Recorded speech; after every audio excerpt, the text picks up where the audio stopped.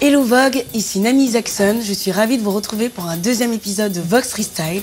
Nous allons décrypter ensemble les looks trouvés dans la rue. C'est parti.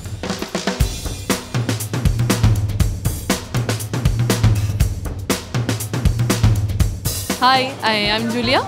I live in Barcelona. I'm 23 years old and I'm a film director. Là, on est complètement dans les années 2000. Je suis fan de son Brangelina. Actually, everything's vintage apart from the hoodie. And it's uh, from Praying, which I love like this detail, the years that they were like Brangelina. Yeah, together. So sad. I love it. So comfy. Déjà, c'est bleacher les sourcils. Elle est vraiment dans une époque, quoi. Elle est euh, années 2000 euh, jusqu'au bout avec euh, les mèches euh, colorées, euh, plus court là. And this was from my mom, and actually she made it. And this I found it on uh, like a charity shop from Madrid. And yeah, just like wearing some pants. J'adore le fait qu'elle porte euh, une longue jupe avec un pantalon en bas. Par exemple, on l'a vu sur le show Garment euh, à Copenhague. Ça, c'est vraiment quelque chose qu'on fait de plus en plus. Moi, ça me rappelle les époques euh, Jennifer, euh, Chippy. J'en avais un. Franchement, en vrai, très cool. The bag is also from my mom. It's uh, Donna Cara New Year. And these are from Milan. It's like uh, plastic. And this is from. Ils sont incroyables ces accessoires. Ils sont vraiment euh, huge. Et je trouve que les jeunes, ils osent de plus en plus. Et bravo, c'est cool. Il faut oser pour euh, pouvoir s'exprimer.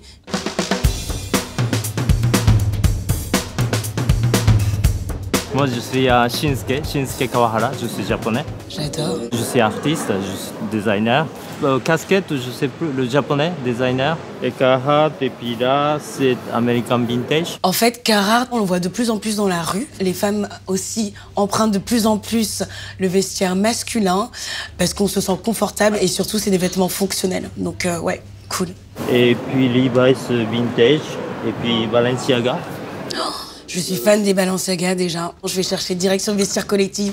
Où sont ces Balenciaga Je les adore. Et puis le sac que j'ai dessiné avec euh, collaboration de marque japonaise qui s'appelle Cornelian Taurus. Et après, c'est le bijou. euh, Elle est incroyable, sa bague. J'ai acheté dans le vintage qui s'appelle Symbolique euh, à Paris, dans le deuxième. Je mélangeais de vintage parce que j'aime beaucoup depuis, depuis longtemps. En plus, je suis pas jeune, donc Mais si tu es jeune, à partir du moment où on est jeune dans l'âme, on est jeune. L'âge, ça veut rien dire. Je vous saurai jamais mon âge.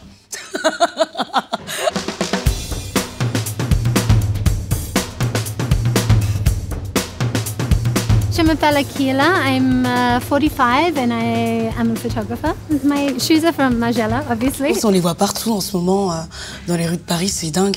Moi, j'adore ces chaussures, mais après, moi, je trouve qu'il faut oser. Je sais pas si moi, ça m'irait. Uh, my pants are from Lacoste. My sweater is from Sir, and this is vintage.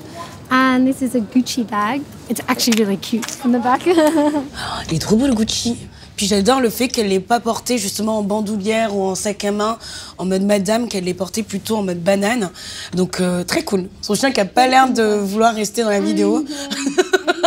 Moi, je, je dirais qu'elle a un look très effortless. J'adore, très chic aussi à la parisienne. Un peu sporty rich également.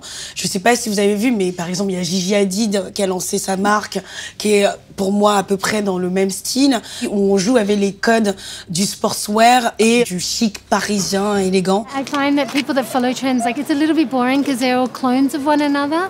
So I guess I, I like people that dress according to how they feel and their mood and aren't unafraid to be dif- look different or to be different to other people.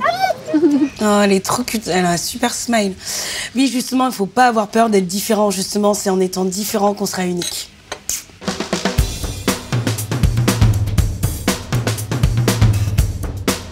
Mon prénom c'est Shadi, je viens d'Australie, Euh, je suis modéliste, donc je travaille dans la mode. Ça se voit. De- ça c'est un vintage pinstripe que j'ai pris pour 10 euros. Ça c'est un autre vintage que j'ai pris en Liban en fait. C'est bien pour environment, ecology et tout ça. Et ça c'est mon pyjama. J'adore qu'il porte son pyjama à l'extérieur. J'adore.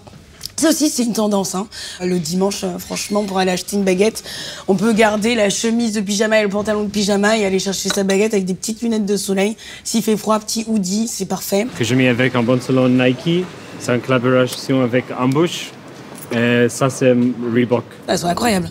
Elles sont dingues ces chaussures. J'ai essayé de faire euh, attention que le couleur que se fait pour un match, mais c'est plus pour euh, le confort, tout, toujours. J'aime beaucoup ce jeune homme, il est très beau, il a un super sourire. Je trouve qu'il arrive à associer justement les différents imprimés, l'imprimé camo et le manteau rayé. En vrai, c'est super compliqué à faire, très cool. Non, franchement, il a un super look.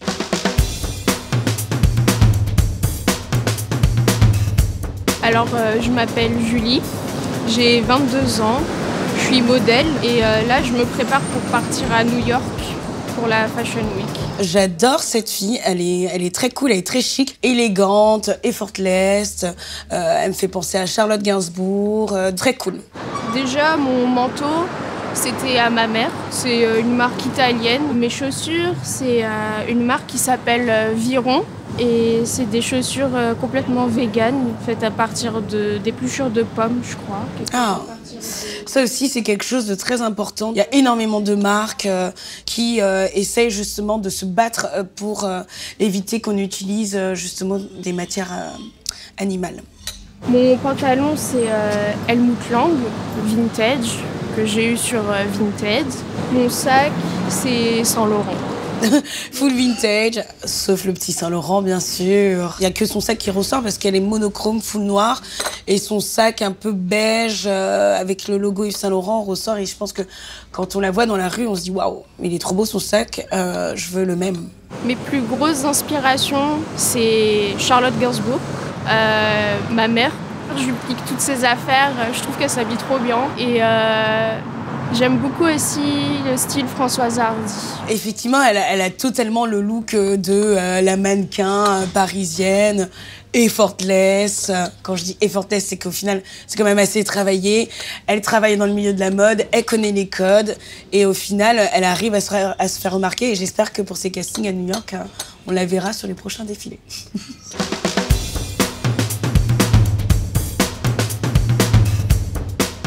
suis Sega Kanouté, on me connaît sous le blaze Abou Sega sur euh, Instagram. Je suis journaliste freelance mode, styliste, designer, plein de choses en même temps. Ah, c'est Abou, je le connais, j'adore. Il a toujours des looks de fou, lui. Donc le look que je porte aujourd'hui, donc je suis souvent habillé en noir. Oui, il est tout habillé en noir. Donc c'est un peu un mélange d'influences euh, japonaises, africaines, etc. Donc ça c'est une, un doudoune que j'ai chiné euh, dans une de mes boutiques préférées, qui s'appelle Gaijin. Donc c'est une doudoune Issey Miyake, donc un truc un peu bouffant, surtout avec le froid là, c'est bien. Une doublure, ce qu'on appelle une petite veste sans manche. Donc ça je l'ai euh, chopé euh, à Anvers, dans une boutique qui s'appelle euh, Van Etsch. C'est un designer anversois. Et là, juste en dessous, ce que vous voyez là, la veste et le pantalon, c'est la boutique d'un designer norvégien qui s'appelle T. Michael. Et donc copié euh, une paire de paraboutes parce que je suis toujours en paraboute. Abou, c'est quelqu'un qu'on remarque euh, de suite quand on marche dans les rues de Paris. Et puis, il a une super énergie, donc euh, j'adore. Je suis trop contente de, de l'avoir dans la vidéo. Merci, Bug. Donc les bagues, c'est des bagues qui sont d'Afrique de l'Ouest. ah, cool. Afrique de l'Ouest. Parce que je suis originaire du Mali. Et euh, le bonnet que vous voyez sur la tête, c'est un bonnet euh, d'un Arkenzo. Donc qui est trop bien parce qu'il me permet de cacher les cheveux que j'ai en dessous. Il a des super beaux cheveux, les cache pas. Et la paire de lunettes, c'est une paire de lunettes japonaises de la marque Kamemanen. Ça fonctionne, ça marche. Et il arrive à tout bien associer euh, ses, ses accessoires. euh, voilà, c'est son histoire. Il dit qu'il vient d'Afrique de l'Ouest, qu'il vient du Mali. Euh, il a fait en sorte que ces- tous ces accessoires, justement, euh, soient un peu euh, le prolongement euh, de, de lui. Et non, c'est cool, franchement. J'adore ce- j'adore son look. Je dirais que mon style, il est euh, noir, Ouais. oversize. C'est déjà trop même. Je peux même pas rajouter de troisième mot. Et en tout cas à mon image. C'est pas mal ça. Il est trop drôle, non Vous avez vu, il est, trop, cool. Non, mais effectivement, il arrive à très bien décrire son style. hein. Euh, moi, je dirais aussi qu'il a un jeu de superposition des vêtements, euh, très japonais, mais on pourrait dire également un peu scandinave, hein, au final. hein. Alors, les trends que je porterai pas, je dirais que c'est euh, tout ce qui est trop coloré. Et après, en revanche, ce qui me plaît pas mal, c'est tout ce qui est mélange de genres. Donc, c'est tout ce qui est jupe, qu'on voit un peu plus. Mais ça, vraiment, je suis trop contente. Aujourd'hui, les codes vestimentaires sont unisexes. Si tu veux porter une jupe, tu portes une jupe, ça te va super bien. Si tu veux porter des talons, tu portes des talons. On n'a pas besoin euh, de dire que cette pièce euh, doit correspondre à un vestiaire. Non. Ça, je suis pas d'accord.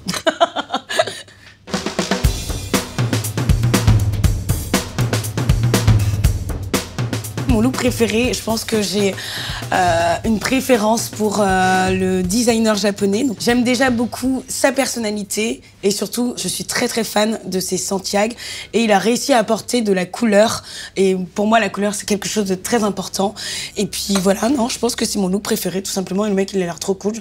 J'aimerais trop le retrouver, boire un café avec lui. J'ai l'impression qu'on est dans le même quartier en plus, donc euh, why not? C'était Nami Jackson. Merci Vogue de m'avoir reçu pour cet épisode. En tout cas, je vous invite tous à vous abonner à la chaîne. Bisous